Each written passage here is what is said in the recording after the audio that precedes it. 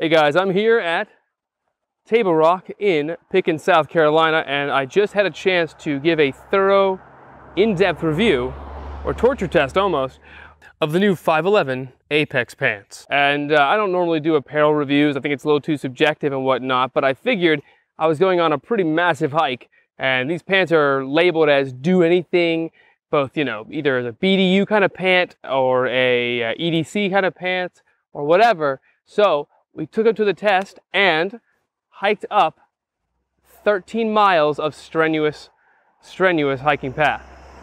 So let's start off by going down a list of some of the features of the pants and then we'll go into how it actually fared during the hiking extravaganza, if you will. The Apex line of pants from 511 are supposed to be a do anything sort of garment. They aren't massively oversized like BDU or tactical pants, but still have room for carry, unlike jeans or traditional khakis. I found that the Apex line of FlexTac material made the fit on these pants much more appropriate than straight nylon or cotton. The material feels like a reinforced, semi-elastic nylon. It has enough give that shoving a pistol into a inside the waistband holster won't make you miserable or pull your pants down, and at the same time is rigid enough to hold up to heavy revolvers being pocket carried. And really, this is where the pants truly excel, in sort of a all-day carry scenario. For instance, the Apex pants feature gusseted construction, which basically means they pad the areas where multiple seams come together. So this is especially important in areas like the groin and the knees, places where the seams could repeatedly rub up against that you really don't want them rubbing up against. Now, more than just being comfortable, they're also damn handy for pack rats like myself. I figure if I'm going to carry a gun, I want to carry enough ammunition to get me out of anything. So naturally, I like the fact that each of the cargo pockets includes a compartmentalized sub-pockets for stashing spare magazines. They're even big enough to conceal two full-sized MP5 mags inside the compartments in each pocket, with spare room in the major pocket for an additional three or four. Now, one thing that I did notice about these pockets is that the compartments hold magazines very securely. So much so that I was able to actually run with the magazines in my pockets without busting up my knees. Anyone who's ever concealed carried and had a floating Glock mag in your pocket and taken the wrong step and had it whack you in the kneecap understands the importance of this. Now additionally, the rear pockets are advertised as twin back yoke magazine pockets. In regular English, that means that there's a small pocket inside of a larger one. I found in practice that instead of using this small packet for a magazine, I ended up using it more often for a smartphone because it kept it both within easy reach by keeping it above the other pocket as well as keeping it separate from all the spare mags in the regular pocket or anything that would otherwise scratch the hell out of your phone like a knife or some such. Another thing I like about the Apex pants is that they appear to be really, really durable.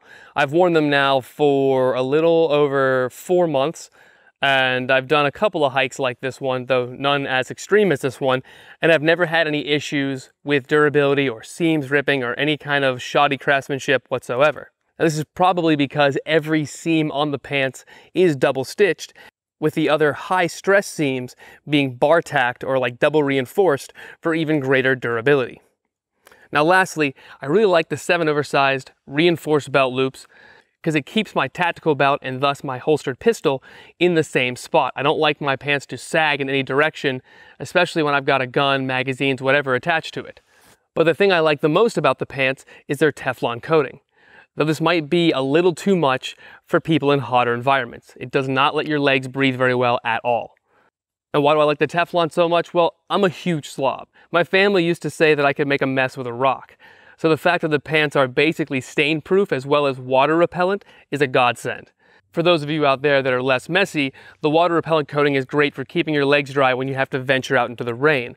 Though keep in mind they're not waterproof. You can't go scuba diving in these and come out dry as a bone. All right, it was completely exhausting and this is the day after and I feel like I just, you know, got dragged up the mountain by my dog, which in a lot of ways I did. But uh, the pants themselves held out very well. They may not be the most breathable thing in the world, but they're very comfortable and I pocket carried the entire time as well as had about 30 pounds of gear in a USMC backpack on my back the entire, entire trip. Now, what does it have to do with the pants? Well, the pants didn't bother me enough that I ever felt like I needed to readjust or do this, that, or the other. And for the most part, they stayed exactly where I wanted them and they kept the objects I had in my pocket because I was pretty loaded down exactly where I needed them. Overall, they're a very, very solid pair of pants that uh, are good for concealed carry, even bugging out, or hell, they'd be great as part of like a BDU. Uh, I think that, yeah, they're not the cheapest pair of pants in the world, but I think if you're gonna buy something for quality and something for any sort of longevity, you can't expect it to be dirt cheap. Thanks, guys. Don't forget to like, comment, and subscribe for more burst reviews. Also, everyone, let's see if I can get in. All right, everyone wish Jim a happy 33rd birthday. Woo!